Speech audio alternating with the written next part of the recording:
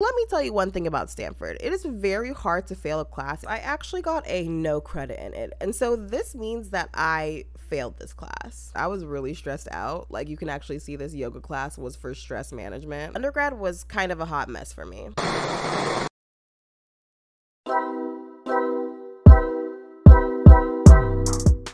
What's up, y'all? It's Ifueko. Today, I'm going to break down all the classes that I took at Stanford as an undergrad in computer science and as a master's student in electrical engineering. There's this misconception that you have to have a perfect academic track record to end up in great academic or career positions, but it's honestly about much more than the grades. So today, I'm going to break down what classes I took, the grades and GPA that I got, and what classes actually mattered and you're gonna see that you don't have to be perfect to end up in a good place. So, to summarize my academic trajectory, in high school I had a 4.8 GPA and I got into Stanford early action. My GPA was weighted out of 4 because of AP classes, and I had Calc BC credits, so I didn't have to take the first year of calculus in my first year of undergrad. I did a Bachelor's of Science in Computer Science and a Master's of Science in Electrical Engineering. My focus in computer science was artificial intelligence, and my EE focus was signal processing. What's kind of strange is that it calls me a co-terminal graduate from 2012 to 2015, which is like a four-year undergrad term, but I definitely started undergrad in 2011. So I don't know what's up with that, but um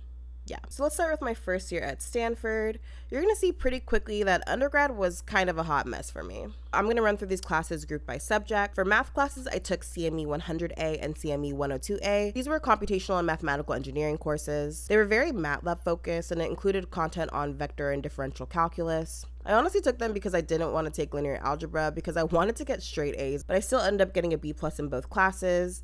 Honestly, because I bombed the exams. Typically, if I got a B in a course, it was because I bombed the exams. For engineering and science courses, I took Engineering 31, which is an engineering focused chemical principles course, Physics 41 and 42, which was just a classical mechanics physics course, Chem 33, organic chemistry, Engineering 25B, which was an intro to biotechnology course, and CS 106A, which was the intro computer science course. So for most of these engineering classes, I got my normal B, meaning I understood the material relatively I did all the homework assignments, but I bombed the tests. So this Chem 33 class, I actually got a no credit in it. And so this means that I failed this class. And to this day, I have little clue what goes on in organic chemistry. I did redeem myself that quarter by taking CS 106A and end up getting an A in the class. And honestly, this was the reason why I ended up switching from chemical engineering to computer science. This was really my first A in an engineering or science course this entire year. And finally, for humanities, I took IHUM 72, which was this poetry course that I took for general education requirements. I also took IHUM 40A and 40B, which were about archaeology. I actually really enjoyed those courses. And I also took a PWR course, which is the program in writing and rhetoric. Those humanities courses honestly saved my GPA that first year because I ended up with a 3.44 GPA. I also took a modern dance class over the summer because I was working on campus and why not? Onto my second year. I was computer science heavy during my sophomore year, really trying to catch up from the fact that I'd only taken one computer science course during my first year. So I took a bunch of independent study courses this year, got research credit from that, which actually gave me a letter grade. That was really good for my GPA. I basically took all my foundational computer science courses my second year, CS1U, which was just learning Unix commands, CS103, mathematical foundations for computing, CS106X, which was a C++ focused programming course, CS107, a C focused programming programming course, really focused on systems. CS 109, which was a probability and math class for computer science. I also took a compilers course, but I withdrew from that class and I took an ethics course for computer scientists. That was really a required course from the department. Honestly, most of these courses were required courses, except for maybe that Unix class. I also took Engineering 46, which was an Engineering for Good class, and we tried to make this mobile health app,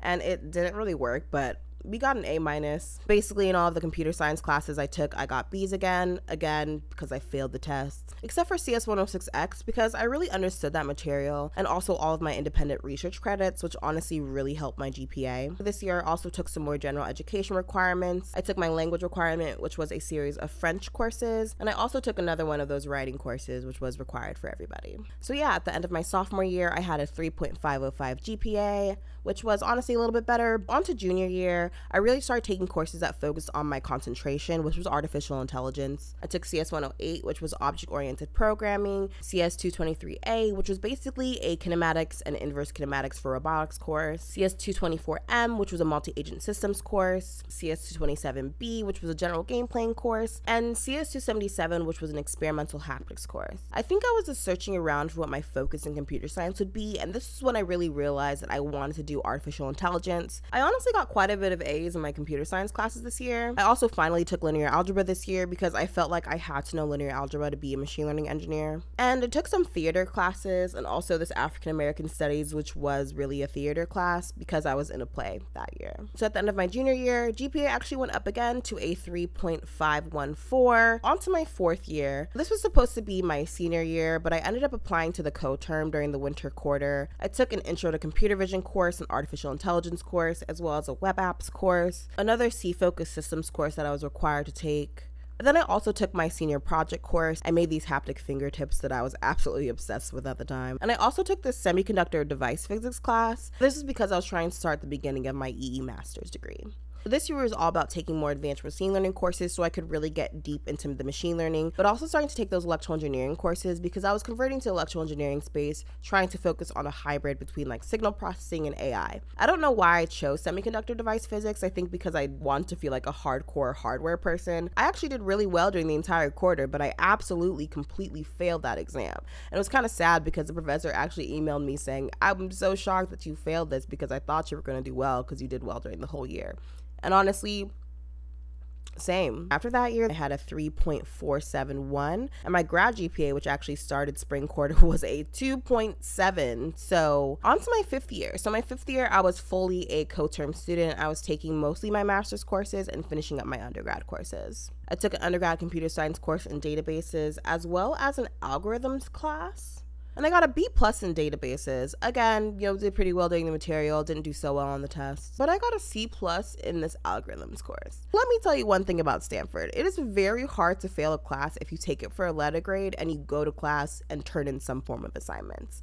Participation will get you that grade. It's very hard to fail a class. And for my master's this year, I took digital image processing, some signal processing courses, and I also took an advanced computer vision course that was actually for my master's. And I also ended up taking a hip hop and a yoga class because I was really stressed out. Like you can actually see this yoga class was for stress management. So at the end of this year, my undergrad was complete and my final undergraduate GPA was a 3.427. And my graduate GPA was actually a 3.643, which was a huge increase from that 2.7 from the last year. So, you know, I was really getting the hang of being a good student and figuring out how to do well on tests. So my final year at Stanford, I was finishing up my master's degree. So all these classes were electrical engineering requirements. I actually took a bunch of classes in the music department, which were really just signal processing classes focused on music. Those were audio signal processing and perceptual audio coding. I also took some more random E classes like Fourier transforms. I took some networking classes as well. I took some more computer science classes in the AI space. I took a class on math for robotics, vision, and graphics. And I also took a class on convolutional neural networks that was honestly so amazing. And it's honestly why I'm doing a lot of the research I'm doing today. And so my final graduate GPA after all of this was a 3.706. You can kind of see in my master's program, I really got it together. I started getting those A's, but really I was getting A's because these are classes within my niche that I really cared about and honestly I had gotten really good at that time. Towards the end of my degrees, I really figured out how to be an efficient student. There are definitely cheat codes to getting A's in classes. If you want a video on that, like my pinned comment below. But yeah, that's really it for this video. If you enjoyed this video, as always, give it a like, comment, and subscribe. And I'll see y'all in the next video. Later.